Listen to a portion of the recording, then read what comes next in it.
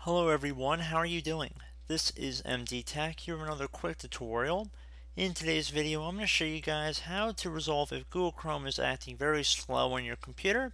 So the first thing I'd actually recommend doing would be to open up the Google Chrome web browser. And then you want to go up to the menu icon in the top right corner, left click on it, and then you want to left click on where it says more tools, and then left click on the extensions option on the left side. So if you have any extensions on here, I'd recommend that you consider if they are worthwhile or not.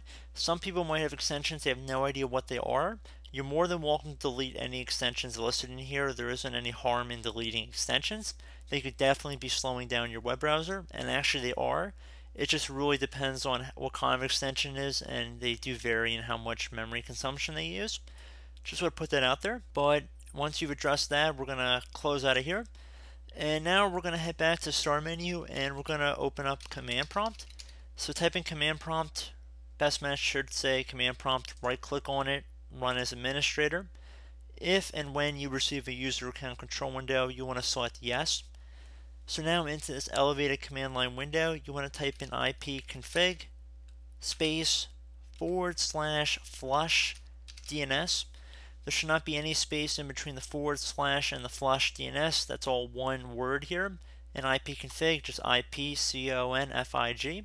Once you have it as it exactly appears on my screen, you want to hit enter. It should say it successfully flushed the DNS resolver cache.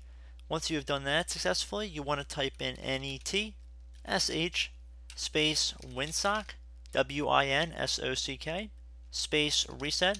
So again, netsh space winsock space reset. Then you want to hit enter on your keyboard.